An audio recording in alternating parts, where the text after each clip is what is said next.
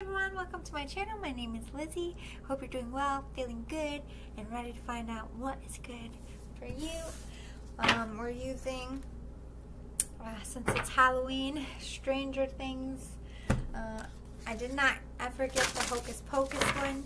I will soon before they discontinue it, but it's a cartoon one.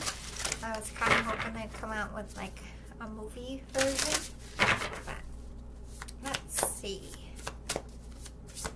These are Oracle cards, by the way. Let's see what your energy is. Caterpillar. You're looking for new opportunities. Could be networking. Could be dating. Could be trying to find a friend. Empty well. Time to replenish. Yeah, something you're lacking. If you're single, you're tired of being alone. If you don't have friends, you're tired of like just being with your kids. You want adult time. Or if you're not making enough money, you're looking for a better job, a tidy house, clarity and organization. Getting that, getting your ducks in a row. I need a new life. Where am I going? That's the energy is for you right now. I need a new life. This, what if it's not like a whole new life here? This could be um, wanting a change in all aspects, changing partners, changing career, changing how you parent, changing your friends, or you have a friend group, you have the career, maybe you want babies, um, maybe you have career and friends but you don't have a lover, or uh, you have a lover but no friends. Like there's something missing in your life that you're wanting to fulfill. Bottom of the deck, Spirit of the River, movement towards adventure a lot of bored energy, stuck in the mundane, feeling stuck, lost compass. You lost your way, you lost yourself for a minute, and you're like, wait, this is not what I want. I need to change it. Good vibes. So it's always good to think like you're an 18 year old and you just graduated high school and everything's open to you. You can do anything that you should always be that 18 year old kid on the inside when you're looking for change. Dream big, reach for the stars.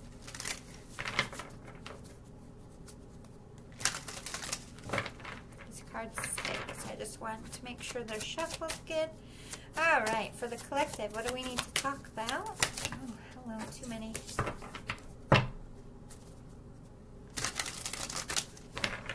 Loosen up these cards a bit. I haven't used them in a while. These ones have Roman numerals and I'm dyslexic. I hate Roman numerals. and I don't um, always know what they mean. They change the words, so I focus on my own abilities and the pictures for this deck.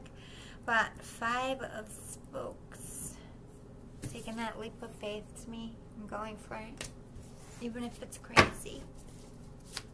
But 10 also talks about completion, ending a cycle. Three of scoops, getting out of a third party situation, not wanting to share, not wanting to be an option, or just be another number. For most of you, this is um, branching out on your own, getting out away from somebody who cheated or put you in a third party or um, you're, you're going towards somebody with a stronger bond. Queen of Strands in reverse. To me, this is like Queen of Wands. Upright is like being dominant, crushing it. You could be making moves and in secret or you're just feeling lack because I think some of you got cheated on or um, somebody could have got the job over you. There's um, discontent, boredom, or um, rejection knocked you on your butt or is knocking you on your butt way. We have six of scoops and ace of scoops. There was an exchange. Maybe somebody made you an, a new offer or flirted with you, showed interest or just got your attention and it made you realize you want to go in a new direction that something is boring or not for you. So what is this exchange that either happened or will? We have the magician, something you manifested.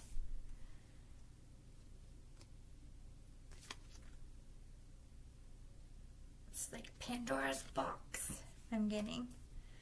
Knight of Dice.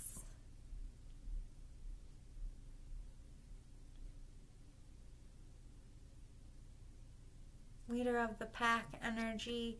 Um, but this is like protecting what you love, protecting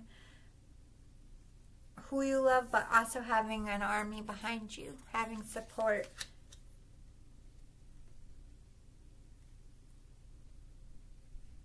Somebody defended you and made you feel like you were a special pot of gold, um, that you were a treasure. You wanted to feel special either by uh, your employee, like, or employee, employer, throat chakra, employer, um,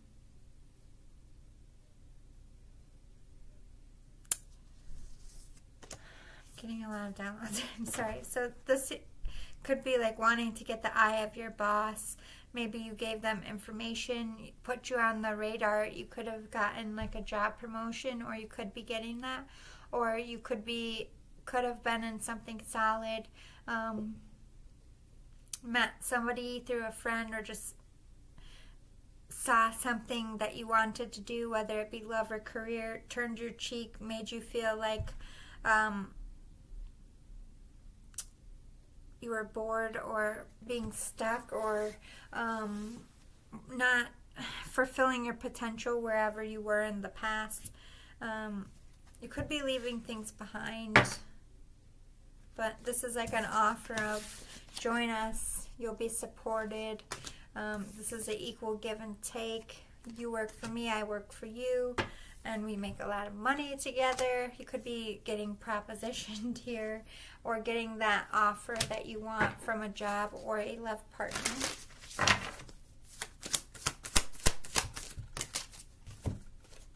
Five of scoops. Ooh, queen of scoops.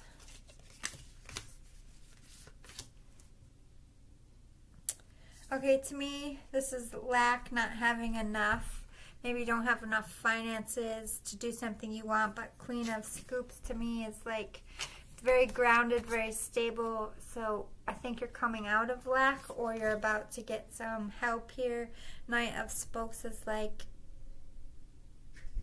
I think you're standing up to a bully or whoever put you in this third party situation. It's like you're jumping over this person, over the competition that left you in lack. You're taking your power back. Something that you've been wishing for, a treasure of a person or a treasure of a job is coming in for you. You're going to be offered a new start or you're going to put yourself out there and offer your heart. You're going to be finding your soul tribe.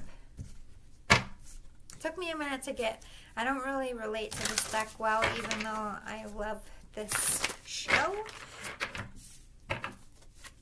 That's why I don't use it much. Ace of Strands. Yeah, it's like you're getting a sign, but you're missing it. Why are you missing it? The moon. This is something you manifested over the moon. You didn't see or if you didn't manifest it, I feel like Spirit's are manifesting it for you. Why? Why is this in reverse? You don't see it coming. Something hasn't ended. You're going to feel a spark, but you have to get out. You have to complete something first. And I think that's what you're doing now with this new moon energy. Anything else for the collective? Ooh. Yeah, you're going in a new direction. You're jumping over any adversity. Bottom of the deck, High Priestess. Trusting that third eye, trusting your spiritual gifts. But it's going to be hard. So this isn't going to be easy. Um, and it hasn't been easy for you to get to this position, but there is something that needs to end here.